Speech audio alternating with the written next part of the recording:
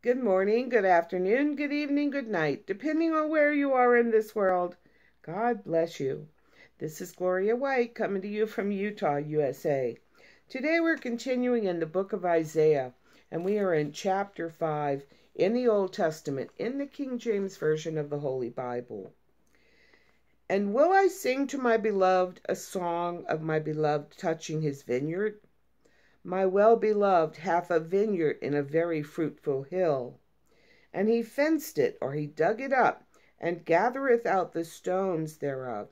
He took all the stones away, and planted it with the choicest vine, and built a tower in the midst of it, and also made a wine press therein.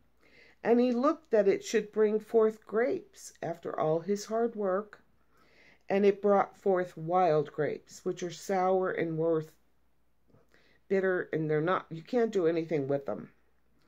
And now, O inhabitants of Jerusalem and men of Judah, judge, I pray you, betwixt me and my vineyard.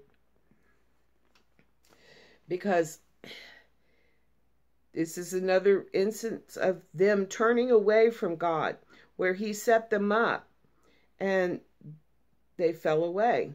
So here he's saying that he made this beautiful vineyard for them to live in and to have, you know, and expecting them to be fruitful in their works.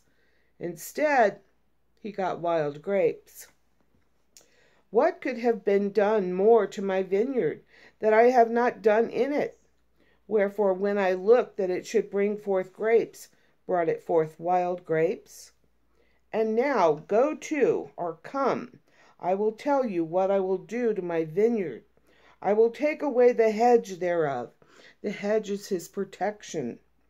And it shall be eaten up or consumed, and break down the wall thereof, and it shall be trodden down or trampled under foot. And and I will lay it waste. It shall not be pruned nor digged, and there shall come up briers and thorns. I will also command the clouds that they rain no rain upon it. For the vineyard of the Lord of hosts is the house of Israel, and the men of Judah his pleasant plant. And he looked for judgment or justice, but behold oppression, and for righteousness, but behold a cry. So here they're oppressing the people, the poor and the widows and and um, they're crying out.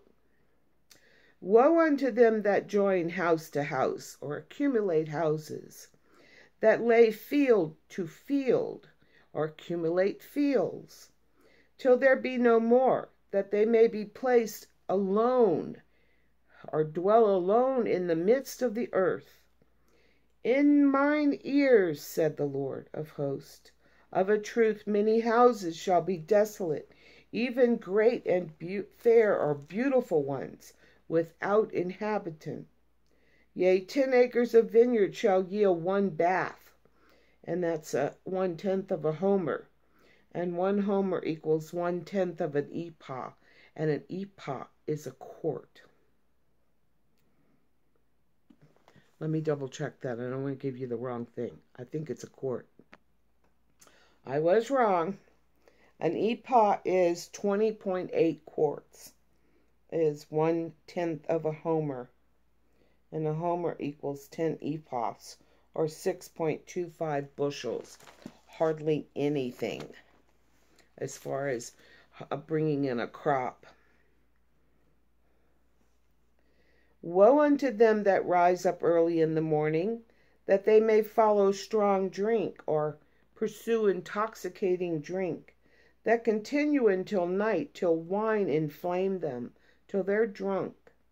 And the harp and the viol are the stringed instrument, and the tabret, which is the tambourine, and the pipes, which is the flute, and wine are in their feast. But they regard not the work of the Lord, neither consider the operation of his hands that provide for them. Therefore my people are gone into captivity, because they have no knowledge, and their honorable men are famished, and their multitude dried up with thirst. Therefore hell or Sheol hath enlarged her mouth, and opened her mouth without measure, and their glory, and their multitude, and their pomp, and he that rejoiceth shall descend into it. And the mean man, or the people, shall be brought down, and the mighty man, or each man, shall be humbled, and the eyes of the lofty shall be humbled. But the Lord of hosts shall be exalted in judgment, and God that is holy shall be sanctified or hallowed in righteousness. Then shall the lambs feed after their manner, excuse me, in their pasture. And the waste places, or in the waste places of the fat ones, or the rich ones, the fatlings, shall strangers eat. Woe unto them that draw iniquity, or drag iniquity, and hasten his work, that we may see it. And let the counsel of the Holy One of Israel draw nigh and come, that we may know it. Woe unto them that call evil good, and good evil, and put darkness for light, and light for darkness that put bitter for sweet, and sweet for bitter. Woe unto them that are wise in their own eyes, and prudent in their own sight. Woe unto them that are mighty to drink wine, and men of strength to mingle strong drink, which justify the wicked for reward or a bribe, and take away the righteousness of the righteous from him. Therefore, as the fire devoureth, or the tongue devoureth the stubble, and the flame consumeth the chaff, so their root shall be as rottenness, and their blossom shall go up as dust, because they have cast away the law of the Lord of hosts, and despised the word despised the word of the Holy One of Israel or therefore is a fire devoureth the stubble. It's the tongue of fire. Sorry about that. It's his tongue of fire. Remember, our Lord God in heaven is a consuming fire. Therefore is the anger of the of the Lord kindled, and that's like build a fire against his people, and he hath stretched forth his hand against them, and hath smitten or stricken them and the hills did tremble, and their carcasses were torn in the midst of the streets, or were as refuge, garbage. For all this, his anger is not turned away, but his hand is stretched out still. He's not done. And he will lift up an ensign or a banner to the nations from far and will hiss or whistle unto them from the end of the earth. And behold, they shall come with speed swiftly. None shall be weary nor stumble, stumble among them. None shall slumber nor sleep, neither shall the girdle or the belt on their loins be loosed, nor the latchet or the strap of their sandals be broken whose arrows are sharp and all their bows bent. Their horses' hoofs shall be counted like flint, and their wheels like a whirlwind. Their roaring shall be like a lion.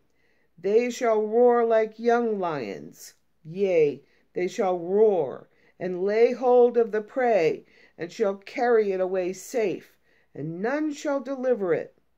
And in that day they shall roar against them like a roaring of the sea and if one look unto the land, behold, darkness and sorrow, or distress, and the light is darkened in the heavens thereof by the clouds. So here, when he's saying that he's going to enable the enemy, he's going to call them, and they're going to come to Israel, and they're going to get them and he's saying that that their their belts aren't going to come loose their shoes aren't going to break i'm going to enable them to come and do my will upon you and there's nothing that anyone can do to stop them. And as always, I love you.